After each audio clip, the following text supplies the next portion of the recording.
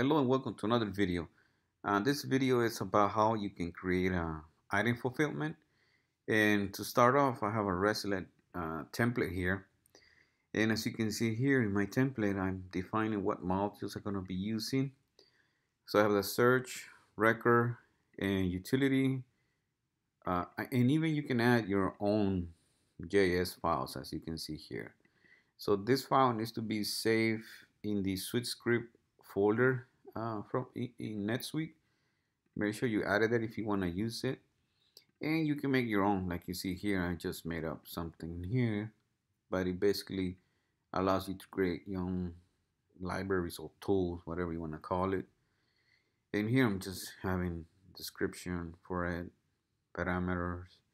And as you see, then my main function is gonna inject those uh, um, libraries in here but this, this, the video is not about this but it can show shows you how you can do it on your own side. And then here it's just the get is blank. So here I have a little comment saying that it's gonna create item fulfillment. So whatever you're using you're gonna do a put. You could also do a post down here. It will basically be the same. It depends on what you want to do or how your style is. But in this example it's just uh, put as you can see here we're going to take a request. Um, and if it's application slash JSON then you can use it as a JSON object. If not it will be just a plain text.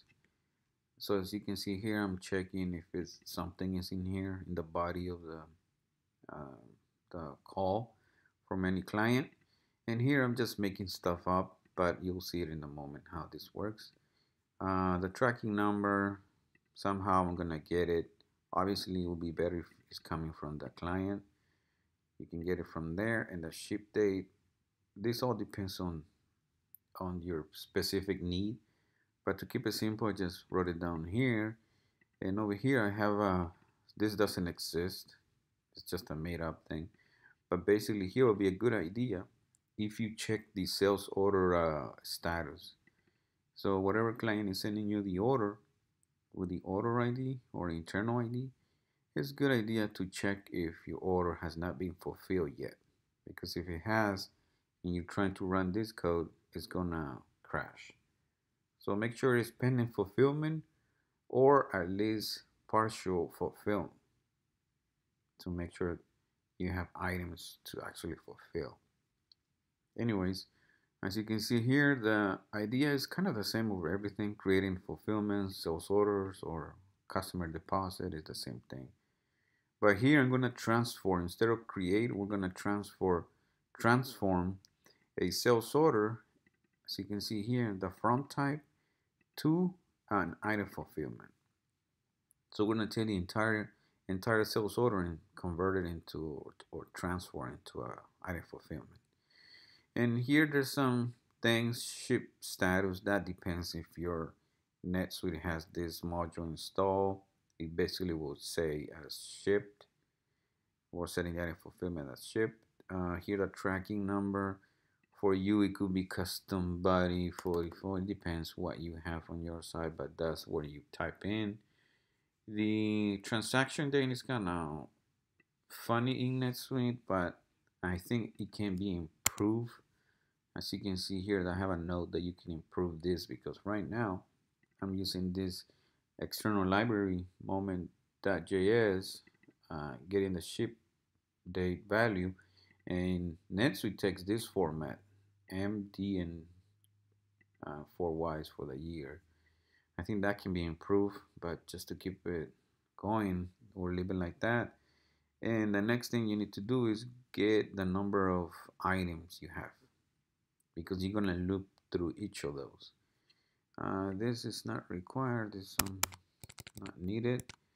And once you have your total then you need your loop. So for each of those lines we're gonna go through and we're gonna set uh, the item received to true and item is fulfilled true. And we're gonna pass the line ID for each So as you can see, we're gonna go through each line and set those values to true, and that's gonna fulfill the order or mark them as fulfilled in item receipt to. And then once you have done that, then all you need to do is say fulfill that save.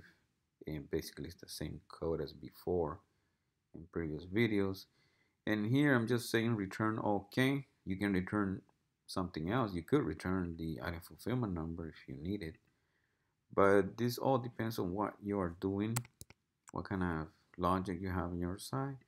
But basically this code is to help you get the idea how you can create an item fulfillments. And that's basically it for this video. If you have any questions, uh, let me know. The code will be on the description or the link will be in the description. Let me know if you have any questions and subscribe to this channel to help me out and to make sure you get the next video on NetSuite because that's what I'm going to be doing uh, the next videos or NetSuite SuiteScript 2.0. Okay, thank you for watching.